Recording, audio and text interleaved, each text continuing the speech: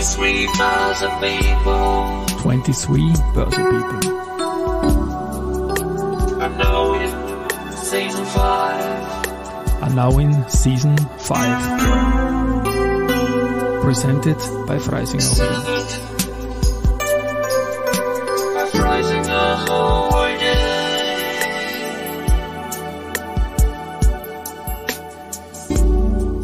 Ja, herzlich willkommen wieder zur Serie 23 Börse People. Und diese Season 5 der Werdegang und Personality Folgen ist presented by Freisinger Holding.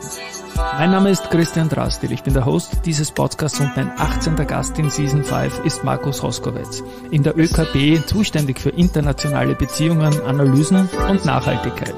Mit im Gepäck hat er heute die neue Finanzierung Export Invest Green Energy und den ÖKB ESG Data Hub. Lieber Markus, herzlich willkommen bei mir im Studio. Hallo Christian, vielen Dank für die Einladung. Du, ich freue mich. Wir haben etliche Themen vorgesprochen, ganz aktuelle Themen, auch von der ÖKB. Aber zuerst Werdegang, Personality. Interessiere ich mich für deinen Werdegang. Du bist ja kein klassischer Banker, hast du mir im Vorgespräch erzählt. Wie ist es bei dir losgegangen und wie bist du dann in die ÖKB gekommen? Vor, glaube ich, knapp 15 Jahren. Ja. Also von der Ausbildung her bin ich äh, Betriebswirt und äh, Bauingenieur und habe auch früher als Bauphysiker gearbeitet und habe mich da mit der Energieoptimierung von Gebäuden äh, befasst. Das heißt, da gab es eigentlich auch schon einen Nachhaltigkeitsbezug. Und äh, ich hatte dann irgendwann ähm, genug davon und wollte etwas machen, wo ich auch das äh, BWL-Studium mehr anwenden kann und äh, auch etwas, wo ich einen größeren Hebel habe, der österreichischen Wirtschaft äh, was Gutes äh, zu tun. Und äh, da war dann eigentlich der Wechsel in die ÖKB genau der richtige Schritt. Die ÖKB ist ja ein äh, sehr angenehmer Arbeitgeber. Die Tätigkeit ist sehr interessant und wir wurden ja auch dieses Jahr zur besten Bank Österreichs gewählt, worüber wir uns natürlich sehr gefreut haben. Dazu möchte ich gratulieren ähm, zu dieser besten Bank Österreichs auf jeden Fall. Und es ist ja mit dem, äh, mit dem Gebäude optimieren Energie, das war damals schon Early Bird eigentlich in dieser Hinsicht, oder? Das, wann war das so? In den Nullerjahren nehme ich an, oder? Ja, also die, äh, die Wohnbauförderung ist ja damals schon ähm, äh, an gewissen Energiekennzahlen äh, gehangen und ähm, also vieles, was ich damals erlebt habe, auch äh, betreffend Digitalisierung, ähm, wiederholt sich jetzt mit einer gewissen Zeitversetzung ähm, mhm.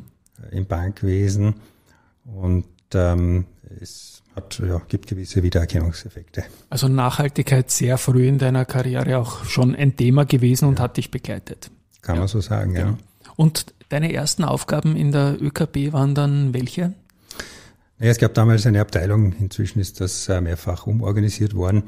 Die hat sich mit der, der Prüfung der Umwelt- und Sozialauswirkungen äh, der äh, Projekte befasst, die die ÖKB unterstützt. Mhm. Wir sind ja da durch internationale Regeln von der OECD verpflichtet, die Projekte zu prüfen. Ich habe dann nach einiger Zeit gewechselt in die Kundenberatung, weil es mich halt auch interessiert hat, was die ÖKB so für Produkte anbietet, um da auch ein bisschen ein breiteres Bild äh, zu bekommen. Äh, und äh, jetzt bin ich eigentlich wieder dort gelandet, wo ich begonnen habe, äh, nämlich bei der Nachhaltigkeit. Mhm. Jetzt die Kunden der ÖKB, das sind zum einen Banken, nehme ich an, und dann zum anderen auch große österreichische Unternehmen und bei dir in der Spezialdisziplin exportorientierte, nehme ich an, oder? Ja. Also was der Kunde der ÖKB ist, darüber kann man trefflich äh, philosophieren.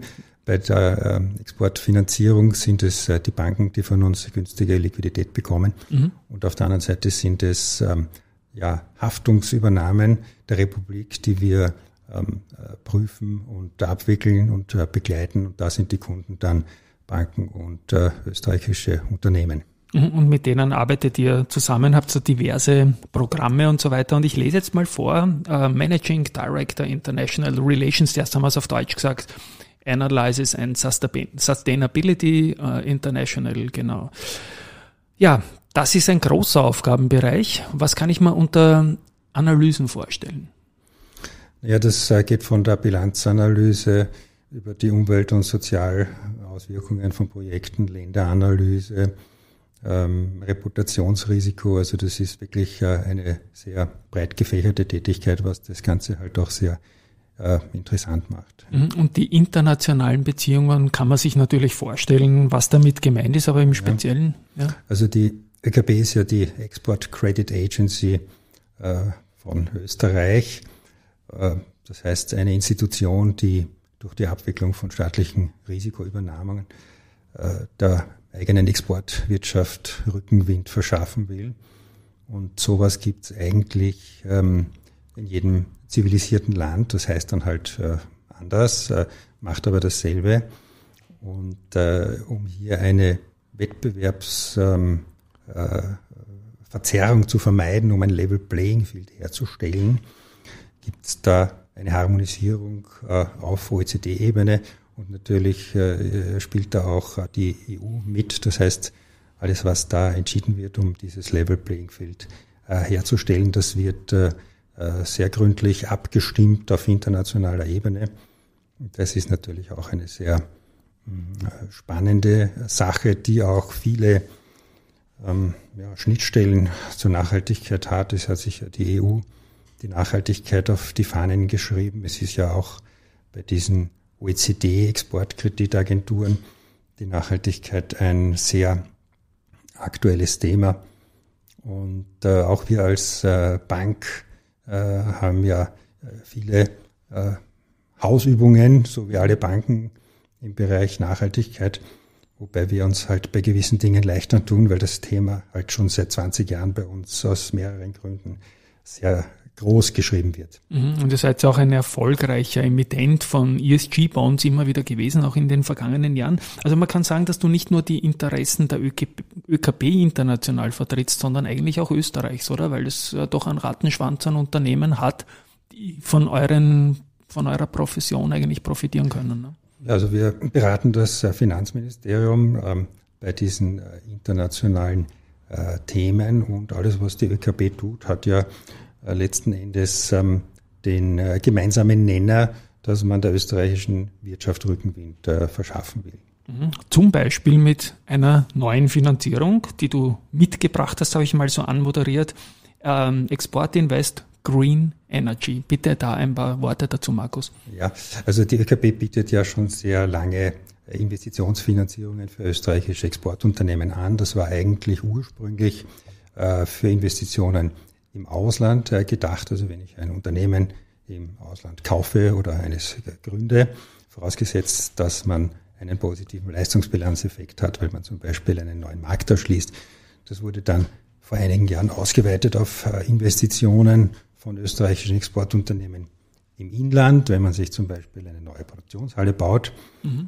Das heißt, äh, Exportinvest, dieses Produkt, vor drei Jahren haben wir dann einen Bonus für Umweltschutz eingeführt. Das heißt dann Export Invest Green. Das heißt, wenn ich besonders umweltschonende Investitionen mache, dafür gibt es einen Kriterienkatalog, dann kann ich ähm, mehr als meine Exportquote finanzieren. Bei der normalen Export Invest, wenn ich sagen wir 50 Prozent Exportquote habe, könnte ich 50 Prozent meiner Halle finanzieren. Okay. Wenn das eine Export Invest Green ist, könnte ich 20 Prozent mehr, also 70 Prozent finanzieren.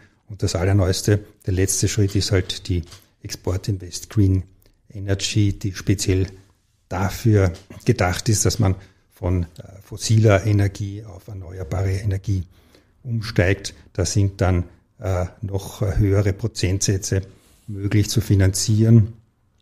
Man kann bei einer Exportquote über 50 Prozent sogar die gesamte Investition finanzieren und auch die staatliche Risikoübernahme ist danach äh, gestaffelt wie grün äh, diese Investition ist. Und bei der Export Invest Energy kann man da natürlich vorausgesetzt, die Bonität passt, äh, sogar 70 äh, Prozent Risiko äh, durch die Republik übernehmen, um eben den Unternehmen den Ausstieg aus der fossilen Energie und den Umstieg auf die Erneuerbare zu erleichtern. Und wie lange gibt es diese Finanzierung jetzt schon? Ist ganz aktuell, nämlich. Ist ganz neu. Ganz neu. Export Invest Green Energy ist ganz neu und die Anfragen sind natürlich äh, sehr zahlreich, weil mhm. das eben ein sehr attraktives Produkt ist, weil man ein großes äh, Volumen und äh, viel Risiko darstellen kann. Und ich denke, auch zu günstigen Konditionen wird das darstellbar sein, oder? Genau, also die, ja. die Banken können günstige Konditionen ja dadurch darstellen, dass man ihnen mit der staatlichen Risikoübernahme ja. hilft und auch mit unserer günstigen Liquidität, damit dann ein attraktives äh, Paket für das Exportunternehmen herauskommt. Und richtet sich das Angebot nur an österreichische Unternehmen oder auch an Unternehmen, die am Standort Österreich stark sind? Viele Mitarbeiter haben eine hohe Wertschöpfung oder so und internationale Unternehmen aber sind. Ja, man muss schon in Österreich im Firmenbuch stehen. Okay. Und man schaut natürlich ähm, bei jeder äh, Finanzierung auch an, ob jetzt der Wirtschaftsstandort Österreich äh, davon einen Vorteil hat. Mhm. Und wie erfolgt da quasi dann der Informationsfluss? Jetzt gibt es da ein neues Finanzierungsprogramm, in dem Fall jetzt diese Green Energy Geschichte. Wie erfahren die Unternehmen davon? Habt ihr da spezielle Veranstaltungen, Ausbildungen oder, oder wie kann ich mir das vorstellen? Naja, wir haben ja eine sehr aktive Marketingabteilung, die auf allen Kanälen immer äh, die Leute äh, informiert. Wir haben äh, Aussendungen gemacht, wenn wir natürlich die Banken ganz an, an, an erster Stelle, weil die halt den direkten Kontakt zum Kunden haben, noch mehr als die ÖKB es hat. Wir machen ähm, Mailing-Aussendungen. Ich bin heute beim Podcast, erzähle darüber und äh, bei allen Veranstaltungen. Danke dafür, genau. Ja, ja ich danke für ja. die Einladung. Bei allen Veranstaltungen in der nächsten Zeit wird natürlich auch diese Export Invest Green Energy ein Thema sein. Und ihr arbeitet da, nehme ich an, mit vielen größeren Banken, nicht mit einer exklusiv, sondern der Kunde soll bei seiner Hausbank dieses quasi in Anspruch nehmen können, was, ja, oder? Die, die Kontrollbank hat ja ein äh, besonderes Verhältnis zu den österreichischen Banken. Sie sind auf der einen Seite unsere Eigentümer, auf der anderen genau. Seite unser Vertriebsapparat, äh, wenn man äh, so will. Aber es ist so, dass eigentlich ähm, äh, fast alle österreichischen Banken, die großen sowieso und die kleineren auch zu so einem großen Prozentsatz unsere Produkte kennen und anwenden. Und bei allen diesen Finanzierungen, die ich genannt habe, also von den Auslandsinvestitionen über die Inlandsinvestitionen, äh, die Grünen und, und die, die, die zum Umstieg auf die erneuerbare Energie. Äh, diese ähm, Finanzierungen funktionieren eigentlich technisch sehr ähnlich. Mhm. Das heißt, die Banken kennen sich äh, sehr gut damit aus, wie das funktioniert und darum wird das auch so gut angenommen. Wunderbar. Und gibt es da ein maximales Volumen oder hat man da eine Zeitspanne, in der man sich für das Programm irgendwie interessieren kann? Oder ist das einfach offen, weil man durch den Steuerungseffekt auch möglichst viele natürlich zum Ausstieg aus den oder Umstieg aus den Fossilen bringen will?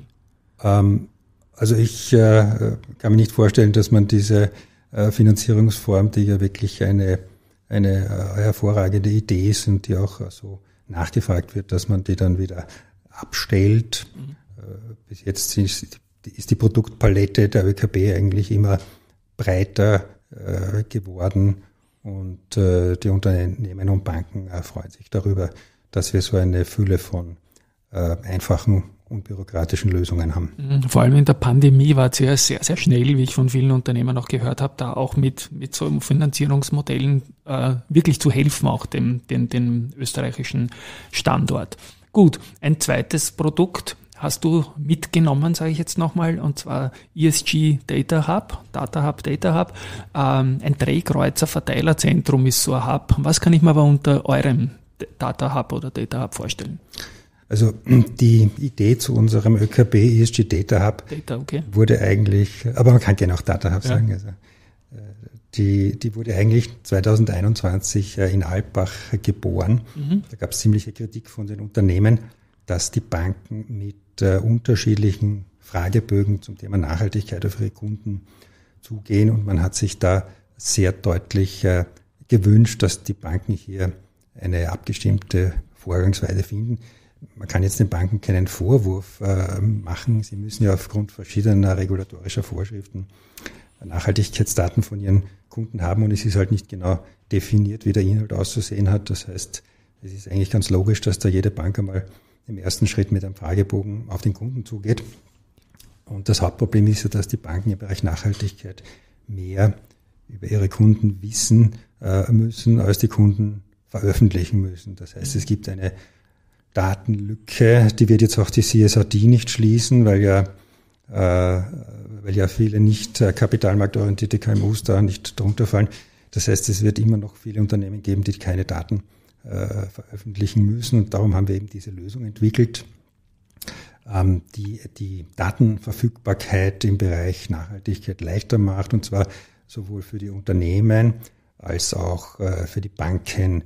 Und ähm, der Vorteil für die Banken ist, dass sie ein besseres Service für die Kunden bieten können, weil die Kunden eben nur einen abgestimmten Fragebogen ausfüllen müssen und äh, dass die Banken dann äh, strukturierte, standardisierte und bis zu einem gewissen Grad auch plausibilisierte ESG-Daten bekommen. Sie können das dann über eine Schnittstelle in Ihre Systeme importieren und sofort automatisiert äh, weiter verarbeiten. Eigentlich ist das eine Form der zentralisierten Beschaffung, weil ja die Banken im Wesentlichen dieselben Informationen brauchen von den Kunden und sie lagern halt diese äh, Datenbeschaffung an die ÖKB aus und wir sind auch sicher die richtige äh, Partnerin äh, für die Banken.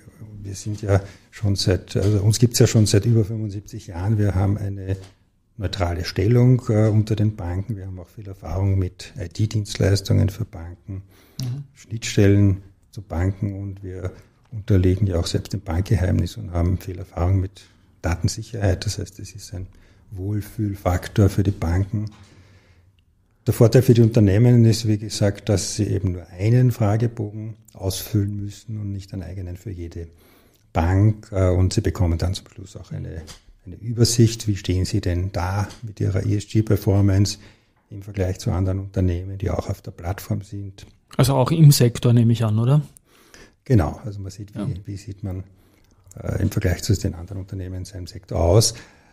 Äh, Ganz wichtig ist auch, die Unternehmen bleiben Herr oder Herrin über ihre Daten und die entscheiden mhm. selber, wer diese Daten okay. bekommt. Und es ist ja für die Unternehmen auch äh, kostenlos, weil ähm, der, der Vorteil, diese Kostenersparnis eben im Moment äh, eher auf Seite der Banken liegt.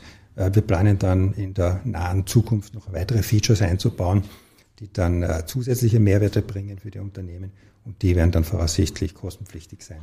Mhm.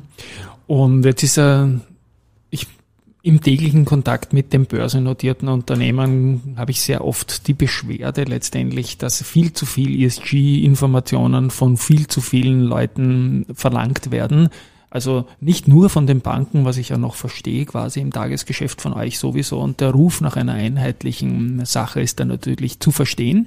Aber es kommen ja auch so Ratingagenturen oder selbsternannte Ratingagenturen raus. Ist es eigentlich Ziel, damit auch irgendeine Information für den Kapitalmarkt, für Investoren abzuleiten, eine Art Rating aus dem Data Hub?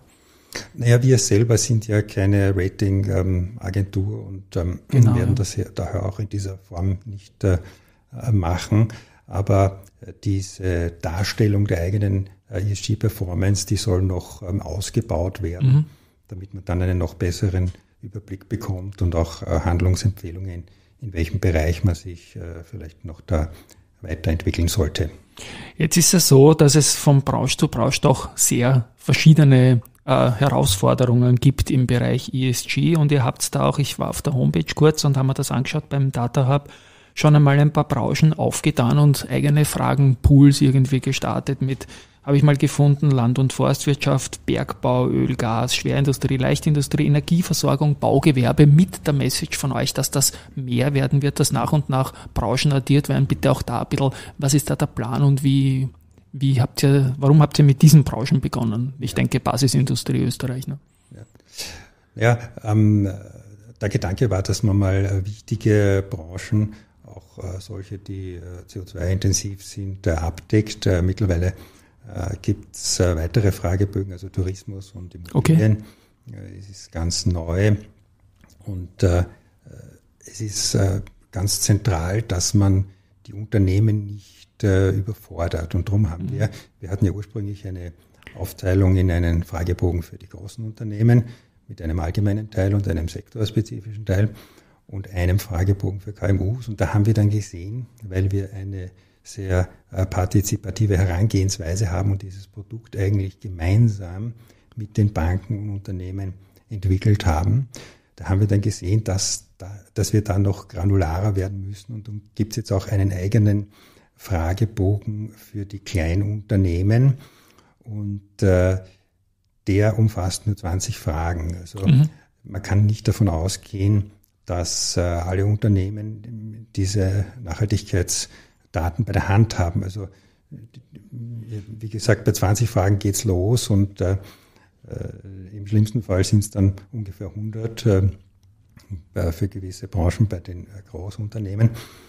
Und ähm, ich habe das selber probiert, wie lange das dauert, das auszufüllen. Also ich war ungefähr in eineinhalb Stunden fertig, aber unter der Annahme, dass ich, äh, dass ich die, Hand, die Antworten parat habe. Mhm. Und Entschuldigung, muss ich ja. dich fragen, unter welchem Hut hast du das ausfüllen wollen? Für die ÖKB oder für ein fiktives Industrieunternehmen? Ähm, ich habe mir ein Unternehmen ausgedacht okay. und ja. habe mal begonnen, da Daten einzugeben. Und man ist eigentlich, ähm, wenn man die Daten bei der Hand hat, relativ äh, schnell fertig. Das Problem ist halt, dass nicht alle Unternehmen alle Daten äh, ja. parat haben. Und das ist dann eher das, was, ähm, was Zeit äh, kostet. Nur ähm, man wird sich ja diese Arbeit nicht ersparen. Also das Thema ESG und insbesondere ESG-Daten, das ist ja hier, um äh, zu bleiben. Und äh, ich habe das übrigens äh, in, in Frankfurt bei so einer Veranstaltung vor Banken und Unternehmen ist mir das äh, klar geworden, ähm, dass dort das Thema äh, Nachhaltigkeitsdaten für andere Unternehmen bereits zu stellen, eigentlich schon sehr groß ist. Mhm. Und darum ist ja eine der Weiterentwicklungen, die wir in nächster Zeit gemeinsam mit äh, Banken und Unternehmen implementieren wollen, äh, eine Funktion, wo dann die Daten, äh, wo dann die Unternehmen einander ihre Daten aus der Lieferketten-Thematik heraus ähm, äh, zur Verfügung stellen können. Klingt nach einem sehr sensiblen Bereich, aber natürlich, wo es auch Ängste geben kann bei den Unternehmen, glaube ich, oder? Natürlich, also äh, unser Ansatz äh, bleibt natürlich, dass äh, nur derjenige die Daten sieht, dem ich die Daten auch ähm, freigebe. Also man kann sich das so vorstellen, im äh, Optimalfall lädt die Bank äh, ihren Kunden ein, die Daten einzugeben. Und wenn jetzt andere Banken auch auf der Plattform registriert sind, dann sehen die zwar, dass dieses Unternehmen auf der Plattform ist, aber sie sehen die Daten noch nicht. Mhm. Das heißt, sie müssen eine Rohdatenanfrage schicken und wenn das Unternehmen dann die Daten freigibt, dann kann die Bank das sehen. Und genauso wird es dann auch bei den Unternehmen äh, sein. Also ich, ich äh, gebe meine Daten aktiv frei und dann kann jemand anderer diese Daten sehen. Zum Beispiel bei Ausschreibungen oder so, wenn ich eine höhere Chance haben will und die Daten freigebe, weil das das ausschreibende Unternehmen oder die Kommune verlangt oder so, kann das so ein Thema sein? Das könnte ein Anwendungsfall sein. Ja. Und du hast das in Frankfurt präsentiert. Das ist eine neue österreichische Geschichte. Wieso präsentiert man das in Frankfurt? Ja, wir haben relativ schnell gemerkt, dass ähm, äh, das Produkt und diese Idee, dass man hier eine abgestimmte Vorgangsweise findet, mhm. ähm, die ähm, hilft, äh, die ähm, EU-Regulatorik zu erfüllen, natürlich nicht nur in Österreich auf Interesse stößt, sondern ähm, äh, auch im benachbarten Ausland. Und Frankfurt ist ja, äh, Entschuldigung, Deutschland ist ja auch ein, ein äh, interessanter, wichtiger Markt. Klar. Man kann ja dieses Produkt äh, auch eins zu eins äh, eigentlich in, in, Deutschland verwenden. Sie können, wir haben den Fragebogen ja auch auf Englisch, also Sie könnten eigentlich äh, weltweit äh, einen Kunden das ausfüllen lassen und die Daten dann, wenn er es freigibt, ähm, verwenden. Mhm. Na, sehr, sehr spannend, wohin das da geht. Und die, die Sprache ist momentan Deutsch und Englisch oder nur Deutsch oder wie kann ich mir das vorstellen? Ja, also wie gesagt, Deutsch und Englisch und ähm, wir haben auch ähm, Interesse aus Osteuropa wahrgenommen. Also den Fragebogen dann in eine andere Sprache zu übersetzen, mhm. das ist eher das, ähm, das geringste dann, ne? Problem. Glaube ich auch, kann ich mir vorstellen. Und Osteuropa klingt natürlich auch spannend, wenn man sich die geografische Aufstellung der österreichischen Wirtschaft ansieht. Ja. Okay, da sind wir dann wieder auch bei den, bei den internationalen äh, Beziehungen natürlich. Ja, wie wird das jetzt in den ersten Wochen, Monaten angenommen, dieser ESG Data Hub von den Unternehmen? Ja, also bei den äh, Banken fangen wir vielleicht einmal an. Wir haben Gerne. jetzt äh, ungefähr 300 Institute oder sogar etwas mehr auf der Plattform. Und äh, man sieht schon. 300 dass, Banken? Ja, also das sind äh, auch Bankengruppen dabei, die halt okay. aus äh, vielen Instituten äh, bestehen. Und man sieht schon, dass die Banken unterschiedlich an das Thema Nachhaltigkeit herangehen. Also einige äh, sind da Early Mover und mhm. wollen sich ähm, auch ganz bewusst äh, als nachhaltig ähm, positionieren.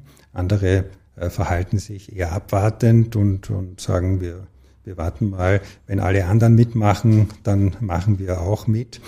Und äh, ähnlich ist es natürlich auch bei den Unternehmen. Manche äh, haben schon sehr viel im Bereich Nachhaltigkeit auf die Beine gestellt.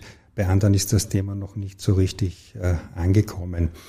Ähm, und wie ich vorher schon gesagt habe, ist ja die Idee eigentlich, dass die Banken, die teilnehmen am ESG Data Hub, dann ihre Unternehmen einladen, diese mhm. Fragebögen auszufüllen. Da sind sie auch schon dabei und wir unterstützen die Banken auch ähm, äh, aktiv dabei, auf ihre Kunden zuzugehen. Mhm.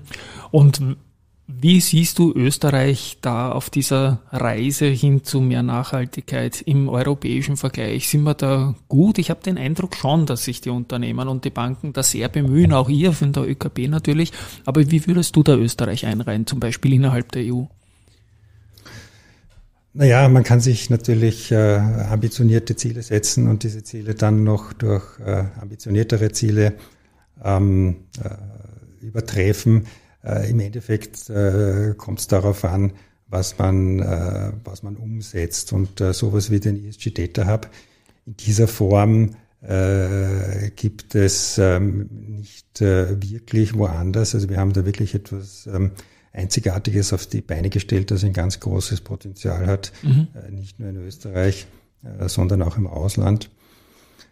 Wenn man jetzt ein bisschen äh, weiter den, den Scope äh, macht äh, und vielleicht so auf, auf OECD-Ebene schaut, da ist mein Eindruck halt, dass die EU hier einen sehr mh, ambitionierten und vielleicht auch manchmal einen bisschen mathematischen Ansatz hat äh, mit der Taxonomie, die ja alle zurzeit äh, sehr äh, beschäftigt. Wir versuchen natürlich auch im Rahmen äh, der Gremien, wo wir da vertreten sind, äh, die, die Taxonomie äh, auf, auf einer ja, auf, auf breiterer Ebene zu verankern. Äh, bis jetzt ist halt äh, wenig ähm, Interesse von den anderen OECD-Ländern, die jetzt nicht zur EU gehören, mhm. wahrnehmbar, weil das halt doch ein, ein recht großer Rechenaufwand ist und im Endeffekt ein, halt ein Kostenfaktor, der da zusätzlich auf die Unternehmen zukommt. Ich merke es jetzt gerade, wir, sprechen jetzt hier Ende Februar, Berichtssaison für die Unternehmen, die Geschäftsberichte müssen fertig werden, sehr viele Nachhaltigkeitsanforderungen auch da. Das Stichwort Taxonomie macht vielen doch Kopfzerbrechen, weil sie vielleicht weltweit tätig sind und das in jedem Land ein bisschen anders gesehen wird. Äh, bitte auch da noch ein paar Worte zum, zur Taxonomie jetzt und hier. Ja, wir sind natürlich äh, als, äh, als Public Interest Entity mit, der, mit dem entsprechenden Größenkriterium auch ähm, äh, verpflichtet, äh, die Taxonomie-Daten ja. äh, zu berichten. Wir haben dazu dieses Jahr ein äh, großes äh, Projekt gehabt, um die äh, Ermittlung der Taxonomie-Fähigkeit äh, zu implementieren. Jetzt müssen wir dann die Taxonomie-Konformität berichten. Und das ist ja auch für die Banken ein wesentlicher Vorteil vom ESG Data Hub, dass sie eben mit unserem Tool die Taxonomie KPIs ihrer Unternehmen mhm. einsammeln können. Da, neben vielen anderen ähm, äh, ESG-Rohdaten, die sie halt brauchen für ihr Risikomanagement und so weiter. Mhm. Und du hast gesagt, du bist kein klassischer Banker. Jetzt sind, waren sehr, sehr viele Zahlen da dabei, natürlich sehr, sehr viele skalierbare Dinge, die, die glaube ich, sehr wichtig sind, dass, dass das jemand begonnen hat. Und ich sage mal, Danke dann die, die ÖKB auch dazu. Äh, was ist das Leibende für dich an dem Job? Was macht dir Spaß? Ich denke, das Thema Nachhaltigkeit muss einem mehr persönlich am Herzen liegen, wenn man so einen Job annimmt, so eine Abteilungsleitung, oder? Natürlich, also es äh, ist ähm, äh, sicher einer der interessantesten Jobs in der ÖKB, weil das Themengebiet äh, so breit ist und ich habe ursprünglich gesagt, dass ich auch äh, einen äh, eine Tätigkeit gesucht habe, bei der man einen gewissen Hebel hat, mhm. ähm, der österreichischen Wirtschaft äh, und ähm, auch, wenn man jetzt sagt, Nachhaltigkeit, wir retten die Welt, eigentlich auch der Welt äh, was Gutes zu tun. Man kann ähm, das Thema halt, äh, äh, sagen wir mal, bürokratisch angehen oder man geht es äh, lösungsorientiert an. Und ich glaube, eine der Stärken der österreichischen Kontrollbank ist, dass wir eigentlich immer sehr schnell darin sind, ähm, äh, in einer sehr lösungsorientierten Weise den äh, Firmen äh, Produkte zur Verfügung zu stellen, damit sie ähm, erfolgreich sein können und bleiben können. Und dieses schnell und ziemlich unbürokratisch, so gut das halt geht, höre ich auch von vielen Unternehmen, wenn es darum geht, die ÖKB zu beschreiben. Lieber das Markus, ja. vielen, ja, das kann ich, kann ich so weitergeben und ich, ich denke, es ist schon eine, eine, ein bisschen eine Erleichterung, wenn, wenn man sich auf einen, einen Standard irgendwie einigen kann, wie dieser ESG Data Hub oder Data Hub da letztendlich zu werden scheint und auf dieser Reise möchte ich da alles Gute wünschen. Ich spiele meine Abspannmusik. Es hat mir sehr, sehr Spaß gemacht. Viele Fragen tun sich für mich auf. Wir werden an dem Thema dranbleiben. Ich würde mich freuen, wenn wir da in ein paar Monaten vielleicht ein Update machen können. Markus, danke, dass du diesen Podcast verstärkt hast. Ich möchte mich bei der Gelegenheit an euch da draußen wenden und sagen, danke fürs Zuhören und ich bin sicher, es war etliches auch für euch dabei. Schau mal von meiner Seite. Und ganz herzlichen Dank für die Einladung. Ich komme gern wieder. Das machen wir. Tschüss und Baba.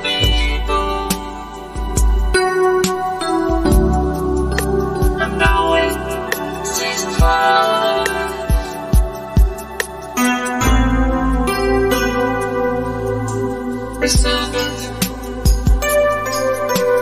freezing up